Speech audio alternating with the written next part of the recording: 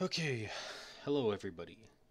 Um, so I got a bit more done uh, this, uh, since the last, I guess, uh, video. So we'll quickly go over that because uh, why not? Um, so we'll play button real quick. So mostly what I done, I um, did a bit more on the character and I did a bit more with the weapon, and I also started working on a new landscape material for the uh, the landscape in the uh, game, obviously. So as for the gun goes, um, we now have an attachment system. Um, it's somewhat rudimentary right now. It only supports a single optic and a single muzzle uh, device. And then soon I'm going to also revamp some of the animation stuff when it comes to the uh, the carrying animation, because I also want underbarrel mounts, like um, grenade launcher and stuff. So the left hand will be uh, modified based on like a, a third attachment. So that's cool. So we have, um, you know, the same old normal sight. You can look down. And then with attachments, um, there's some logic that goes on in the um, when it generates the sight transforms that you can now switch to the attachments. And obviously this is like a PSO scope, and it has uh, render target uh, to look through, which is like um, like a second re a second render of the game uh, view, which obviously can then be zoomed in a bit. So you can have like a, th a 3D scope view essentially, which is nice. It, it's a really cool effect. It's definitely a bit performance heavy compared to just squeezing the FOV with like uh, old like other style scopes, but it's pretty good. It looks, it looks nice.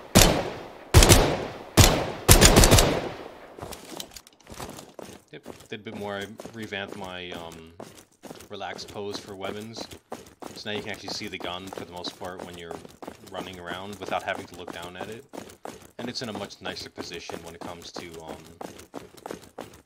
uh, the first person view. Before the gun was like lower, like the front of the gun was raised above the lower part of the gun. You're holding it in like a weird lower pose. Now you're holding it more in like a ready to go pose. You're ready, ready, ready to quickly pull it back up because it's still tucked in your shoulder technically. Before it was much more lower. So now you can just, it looks more like you're actually just ready to go quickly. Plus it just looks better overall. Hmm. So that's uh, nice. We've also got uh, the mantling system now is uh, moved over. So you climb onto shit. Smaller and larger mantle. so that's good. With a gun too, obviously.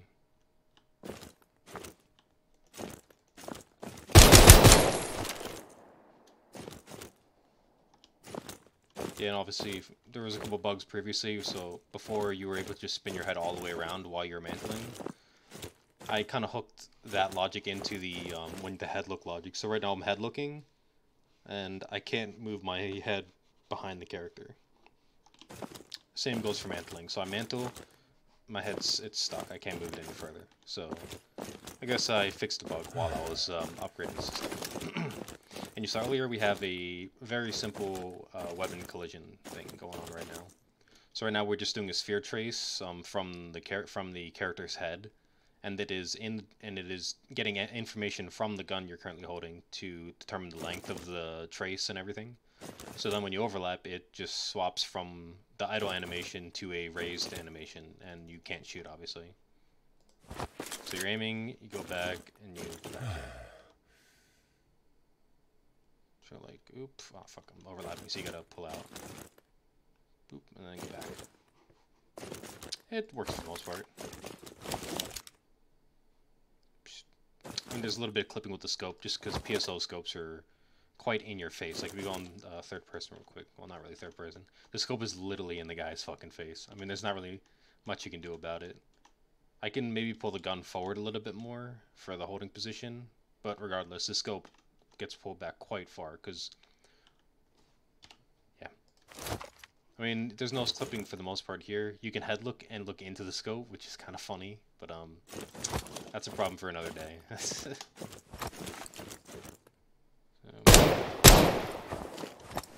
so that's nice. We've got a few more attachments. We'll play with those real quick. Right now they're technical. Like I don't actually have the system set up for um, adding them to the gun properly. We've just got some really simple shit. So attachment, we can do like a Cobra sight, for example. And play with that. And then it's the same shit. Oh, yeah. One sec.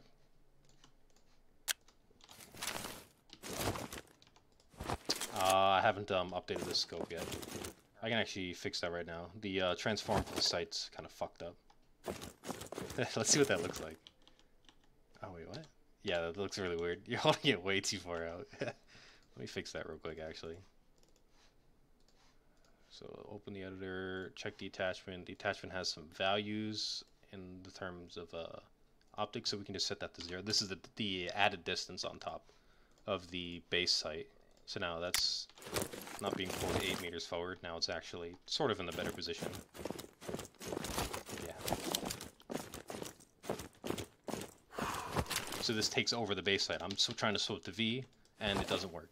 So with all the optics, the attachments, whenever you add a new attachment or whatever, it will recalculate the the optics, the like the sights and everything for the gun, and that will then obviously take information from the sight itself. So for example, this sight overrides the base sight.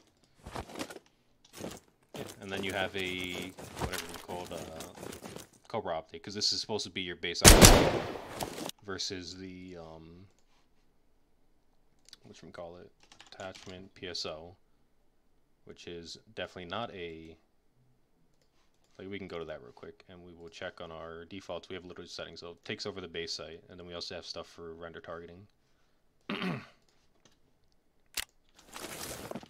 So this one does not take over the base sight. This one is, uh, that's why the base sight gets rendered first, essentially. So that's cool. You'll be able to obviously customize this whenever we start in the inventory system, and this is and this will be automatically generated from the inventory system. So um, you wouldn't be uh, just like doing that. That doesn't make any sense. Red dot. PT I think is Picatinny, so this one's going to be weird. Yeah, this one I forgot to update as well. Yeah, so we're going to have two different uh, styles. So for example, you have the Picatinny rail, which is, you know, your generic like M4 type rail thing. Then you have the dovetail, which um, AKs, modern, more modernish AKs, well, cold, like late Cold War AKs had. We'll fix this too, because I will forget to, and I'll be like, oh, it's all broken, everything's fucked. Um, static mesh, and we go set that to zero as well. Uh, I think I did an 8 for some weird reason for some band-aid fix shit. Yeah, and maybe for the AKs as well, we'll have shit, we'll have like, um, I don't know, maybe I could do multiple attachments so you can, act because I know there are adapters, for example, like that are, they snap to the dovetail, and then they have a Picatinny rail on the top of the um, adapter, and then you can put scopes. Maybe I'll do that, unlike Tarkov and shit like had, shit, uh, games like that have um, really cool stuff like that. I don't know, that's getting a bit more advanced. We'll see. Maybe we just have it, we, we just create AKs that have the rail on it. I don't know. That's really it for this video, I guess. So, uh, attachment system. I guess we can look at the landscape material real quick. It's uh, it's pretty nice. I mean, it's got a bunch of blending stuff now, so this is all. There's no decals or anything yet. These this is just the landscape material with a bunch of detail here. Mainly because um, I don't know why not. I I wanted to make a new landscape material, and this one looks pretty good. So it was definitely a night well spent. We'll save that as well. Okay, so, oh, too far. Okay, so landscape material. Um, I guess we'll just paint over because it doesn't really matter right now. So we'll just fill it with grass.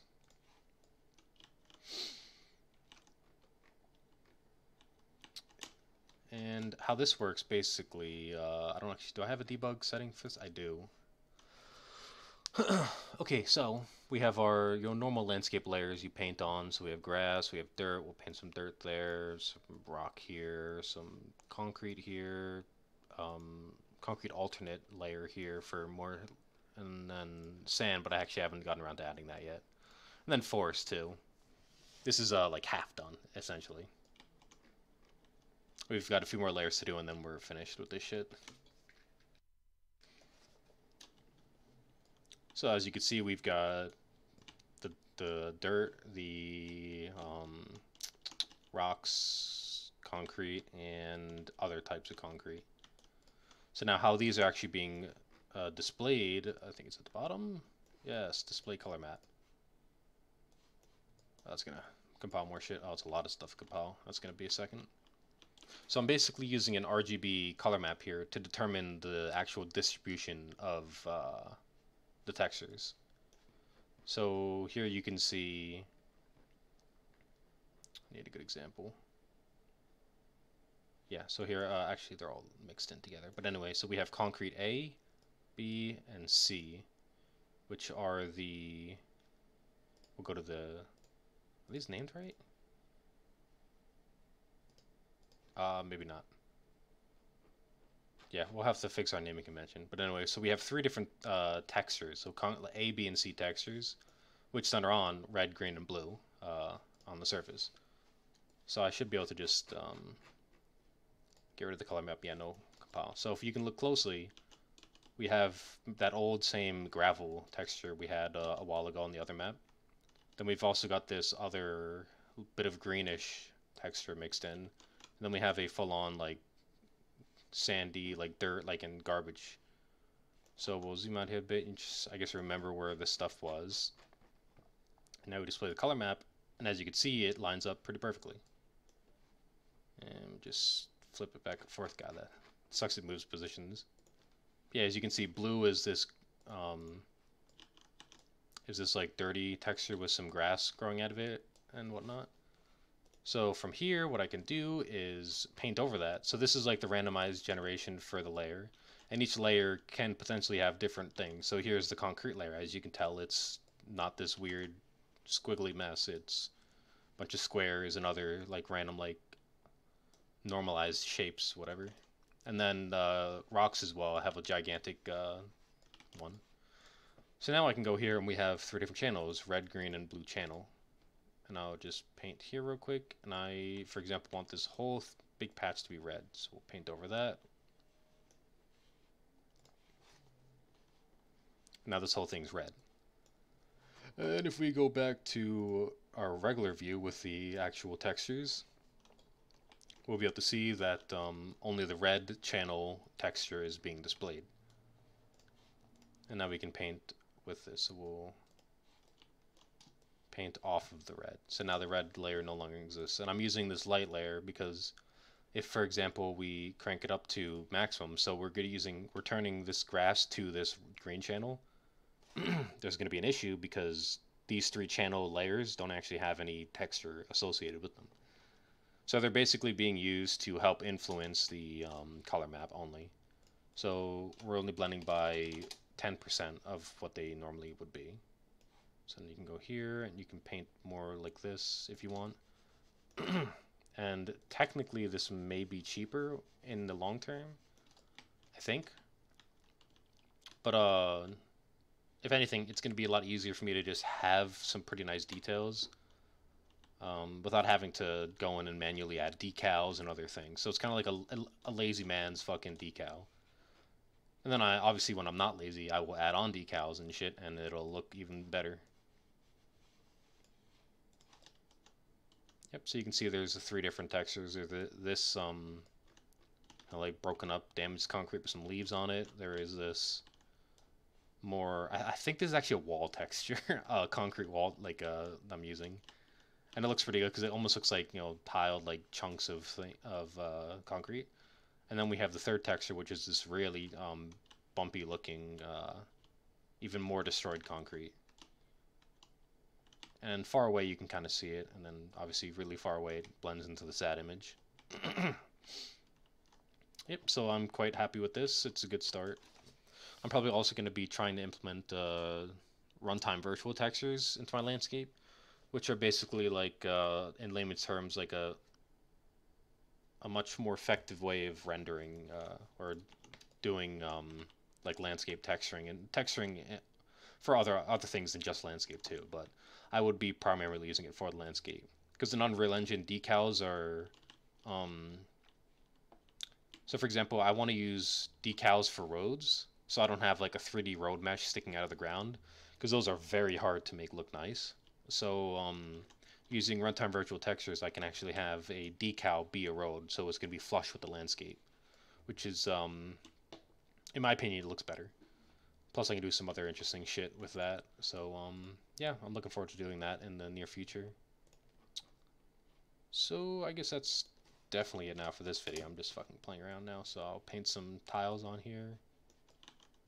That's good. So, we have maybe concrete, and then there it blends the tile.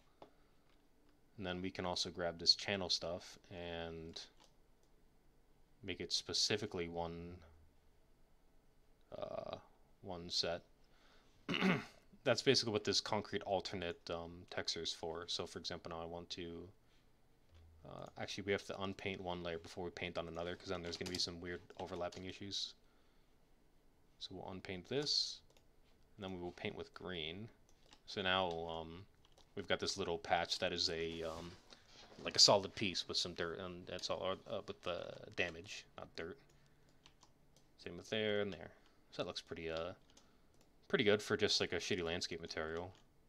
And it breaks off like that. Alright, so thanks for watching everybody, and I will continue to make these uh, bad videos of rambling and talking about shit. Okie dokie. See ya.